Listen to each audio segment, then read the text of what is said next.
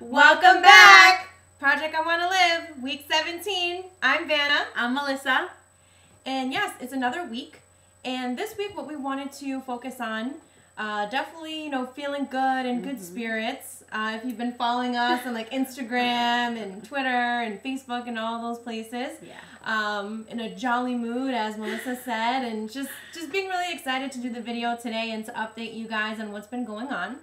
Uh, but one of the first things that we wanted to speak about today to uh, let you all know uh, is number one, uh, Melissa has gotten her menstrual cycle again.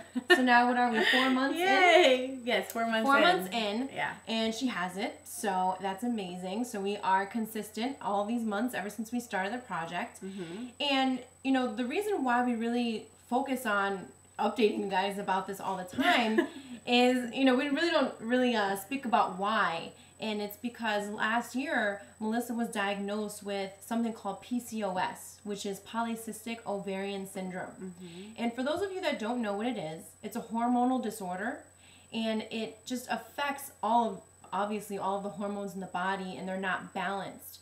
So Melissa will talk a little bit about uh, some of the things that she's been experiencing with this. Mm-hmm. Uh, but one of the main things that I wanted to point out, what, which I thought was really interesting, is that 60% of women that have PCOS, they have very um, tough times with weight management. Mm-hmm. And they mm-hmm. can be having just normal caloric intake, just eating normally, but when they when their body um, starts to break down the food, it gets stored as fat right away. Mm-hmm. So a lot of women, 60% of them struggle with weight management issues and they can fall into obesity very quickly right. because of this syndrome, because of this disorder. So I thought that was interesting because, you know, with what we're doing, definitely we're not obviously Melissa has been aware of this the whole time. Right. Um and, and, and I knew this too.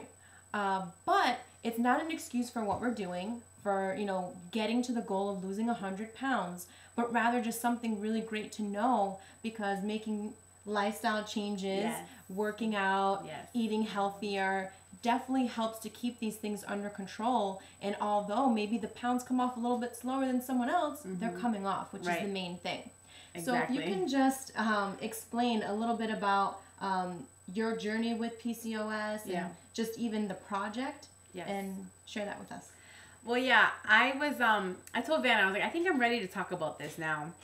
And uh, the reason why I wasn't ready to talk about it is because before, when I got diagnosed last year, I mean, I was already heavy. I had bad eating habits. I was depressed. I was going through a lot, but I was gaining weight even faster, and it was due to the PCOS.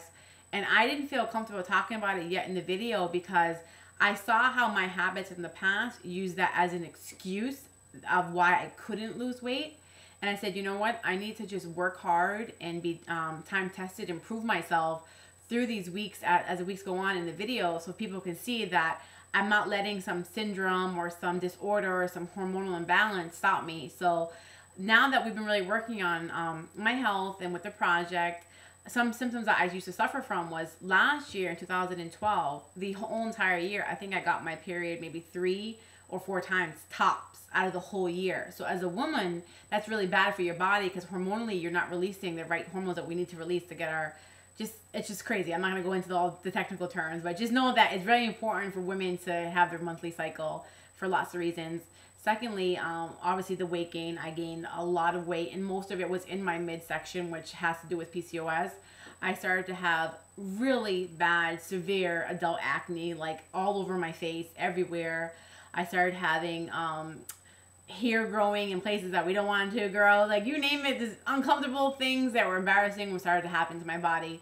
Um, but a way, there's no cure for PCOS, but a way you can counteract it is by changing your lifestyle, which are things that we've been talking about, having a low glucose diet, low sugar diet, a low carb diet, exercising, nutrition, supplements, and these are all the things that we've been implementing in the last four months. And like Vanna said, maybe I, I'm, you know, maybe I'm not losing as much weight as I like to or as if people maybe expect me to. But for me, dealing with this uphill battle and just all the different changes, I think that we're doing a great job. And the reason why I wanted to talk about it is to show people that no matter what you have, there's no excuse when you decide to do something, when you have your mind set on it, when you focus on it, there's nothing, no barrier, no disease, no disorder, no person, no anything that can get in your way. And I've held this in for the last few months and I didn't want to talk about it because I didn't want it to be my excuse. But I'm sharing it now because I feel like today I was just so happy because I feel like I'm breaking through barriers and oh my god, I'm getting emotional. I don't know, I just feel so excited. Um, there's a goal that I've been trying to reach, um, and I finally reached it today.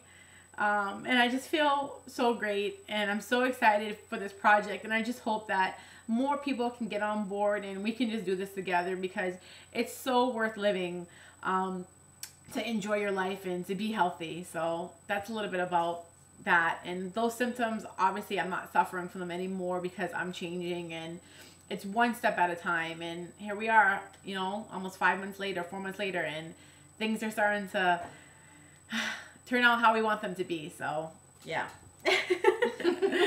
Wasn't expecting the emotions, I but know. it's okay. I've been so jolly all day. well, you're still jolly. yeah, I am. But- it's happy tears. So I've been waiting to release the results. So Okay, I'll okay, say it. you say I it. You say it. You say it.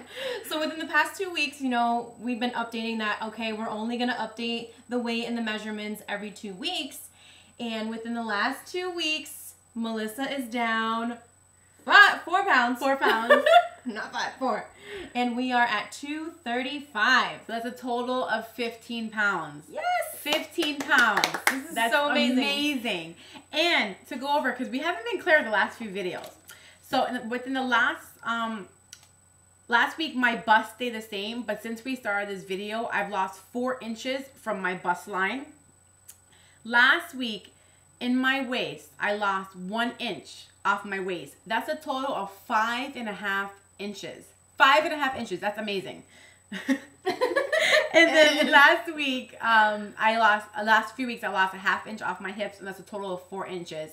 So that's almost that's 10 and a half inches I have lost off my body in the last four months. So hey, inch by inch, we're getting there, pound by pound, one step at a time. So we want to just thank you for watching and supporting, and let's just keep going. Yes. 15 pounds down. Bye, guys. Bye.